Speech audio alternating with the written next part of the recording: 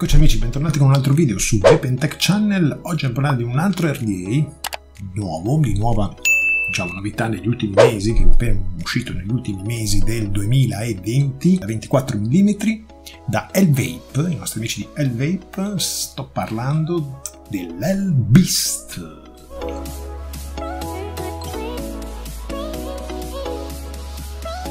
L-Beast 24 mm di atomizzatore, eh, deck postless, ormai si va solo di deck postless a quanto pare per gli RDA, bene così perché a me è una soluzione che piace tantissimo. Regolazione dell'aria a tre vie, sono addirittura 19 fori volendo al massimo da una parte, 19 dall'altra, quindi una reazione della miseria, come si dice dalle nostre parti. Interessante proposta delle torrette perché sono a 2 a 2 sfasate, non sono allineate praticamente una con l'altra e questo potrebbe portare a qualche giovamento.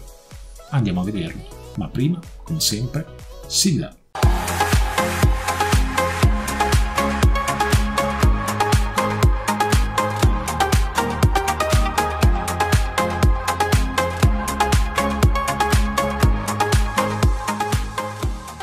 Eccoci venuti allo spacchettamento del nostro L-Beast di L-Vape, qui vedete subito la scatolina con il simbolo L-Vape, la scritta, L-Beast con l'animalozzo con le cornona, RDA, da questa parte abbiamo uno spaccato dell'atomizzatore, quindi drip tip, top cap, cap e deck, sotto abbiamo il Beast RDA Color Full Black, numero di serie, scratch and check, da questa parte invece abbiamo l'atomizzatore chiuso, diciamo completo, e dietro abbiamo i features, quindi 24 mm di diametro, con un ampio spazio per buildare.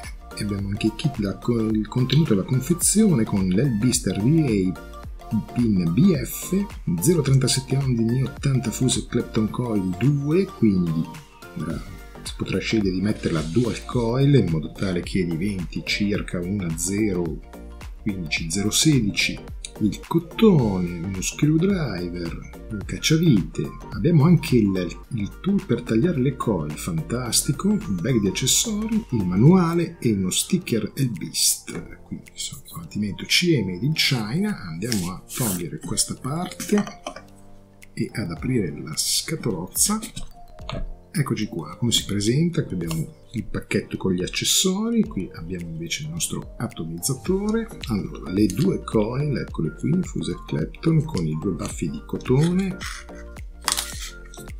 spare part con ovini di ricambio, due grani e il pin forato, quindi per andare in BF, terzo sacchettino, fantastico ragazzi, fantastico, abbiamo la brugolina, la coil tool per tagliare le gambette delle colle o a 7 o a 5 mm e abbiamo anche il cacciavitino che molto probabilmente servirà per sostituire il pin, quello installato normale a pin BF.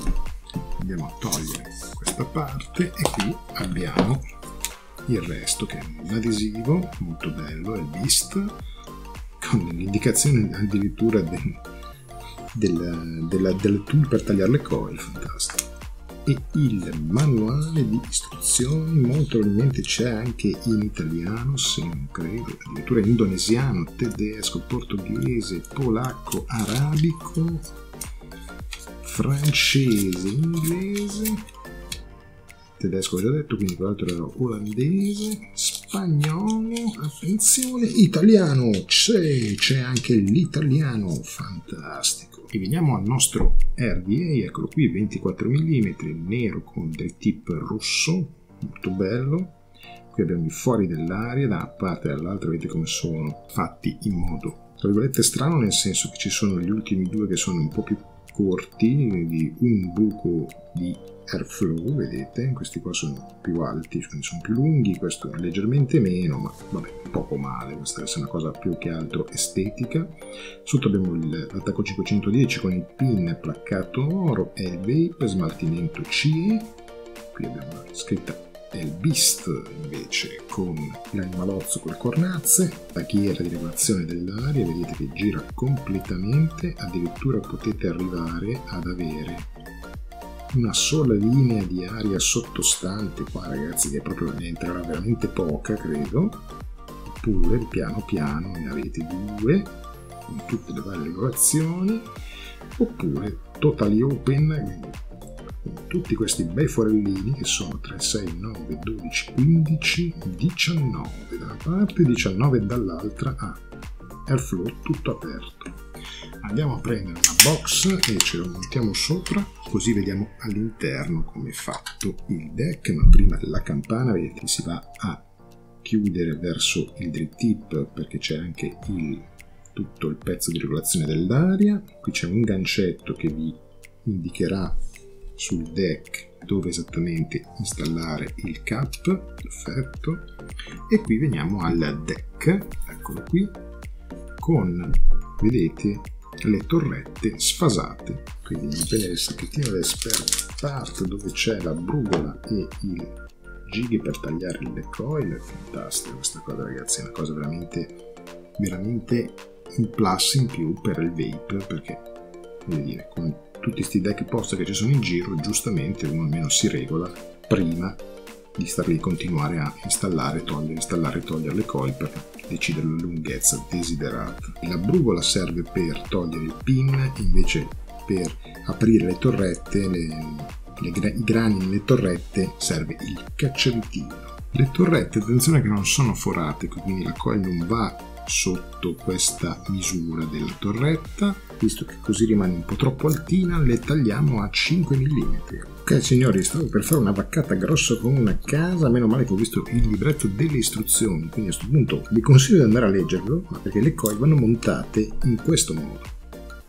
non per così da questa parte, cioè dove ci sono le torrette una vicino all'altra, non nella parte diciamo più distante. E ha anche un senso, diciamo, mettere le torrette sfasate perché cosa succede? Adesso vi faccio vedere bene. Eh? Di solito le coil prefatte voi le avete in questo modo, quindi con le gambette non piegate. Una delle due non è piegata a 90 gradi, no?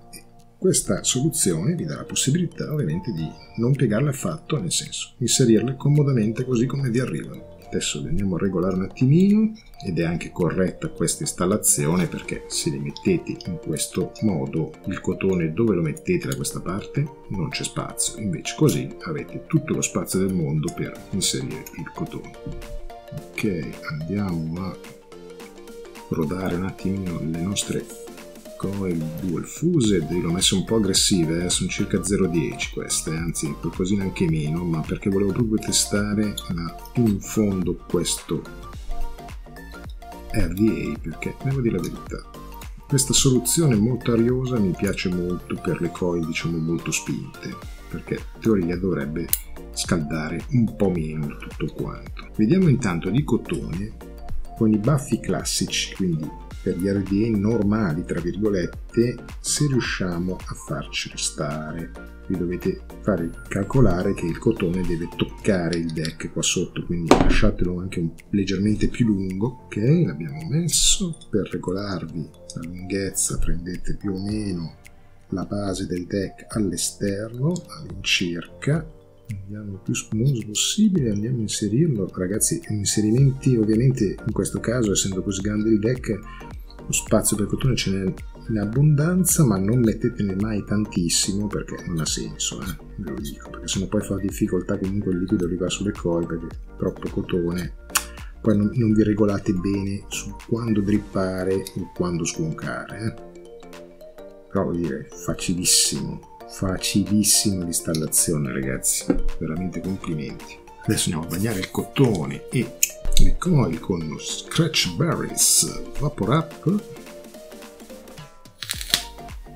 quindi meno cotone mettete meno tempo meno, meno liquido utilizzate meno tempo dovete utilizzare per attivare tutto ovviamente. Perfetto.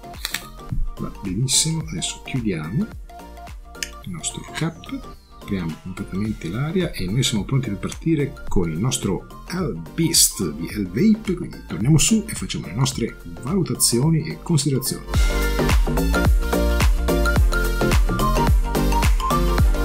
Allora, eccoci tornati, avete visto, soluzione interessante quella delle torrette sfasate perché vi dà la possibilità di non piegare nessuna delle due leg delle coil per mettere in linea le due leg, perché tanto avete le torrette che sono già sfasate come le leg delle coil originali, per cui non avete nessun tipo di problema, quindi facilità anche di installazione. Adesso facciamoci qualche bella svapatona. Io sono qua con delle coil da 0075, quindi abbastanza spinte, ma l'ho volute mettere apposta per provarlo, diciamo, all'estremo, questo RDA, e poi diamo le stellozze.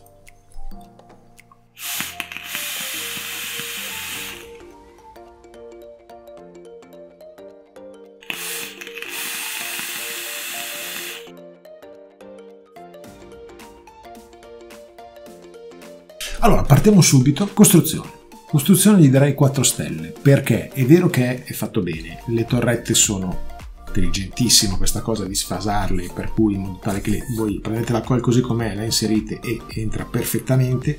L'unica cosa che non mi è piaciuta tantissimo ma sono sottigliezze tra virgolette è eh, la distanza che poi c'è tra le coil installate e il fondo del deck. Per cui il cotone che dovete mettere è un po' più lungo di diciamo in qualsiasi altro RDA normale, tra virgolette, da 24 mm. Questo cosa comporta? Comporta il fatto che eh, bisogna stare molto attenti a non metterne né troppo tanto né troppo poco, come si dice, perché se ne mettete poco non arriva a toccare il deck magari in alcune circostanze e quindi non agevola il liquido verso le coil. Se ne mettete troppo eh, rischiate che poi non vi accorgete quanto ce n'è, tra virgolette, all'interno eh, e magari inavvertitamente siete abituati a sconcare o a eh, drippare dopo 3 o 4 svappate, invece magari potete farlo dopo 6 o 7, quindi andre- andrete a rischiare di riempire troppo di liquido il deck. Ma una volta presa la mano, queste sono sottigliezze. Facile da usare, 5 stelle perché ragazzi veramente, veramente da rigenerare in una maniera, cioè lo fate, non dico ad occhi chiusi, perché non è mai bello fare cose a occhi chiusi, soprattutto quando parliamo di questi device, però è veramente semplice, cioè è veramente molto molto semplice. E tra l'altro questo RDA secondo me è indicato per chi sta iniziando a passare diciamo da un eh, coil non rigenerabili a coil rigenerabili. Per fare cloud, per fare anche un flavor chasing perché qua comunque ci stanno anche coil magari non complesse eh, con le regolazioni dell'aria che hanno studiato per questo RDA potete tranquillamente anche andare in flavor. Praticità, sì, 5 stelle perché anche qui è un eh, RDA che tra l'altro non scalda neanche tanto, adesso io sono a 100 watt, signori sono a 100 watt, Ovvio, se ci state attaccato 3-4 minuti si scalda anche lui, ma svapando regolarmente in cloud a 100 watt lui si scalda il giusto, non è esagerato, per cui per quello che io ho messo delle coil così basse, perché volevo testare anche la diciamo, resistenza al calore di, eh, della parte esterna e devo dire che molto soddisfacente. Prestazioni, ma io di prestazioni darei un 4 stelle perché comunque detto tutto questo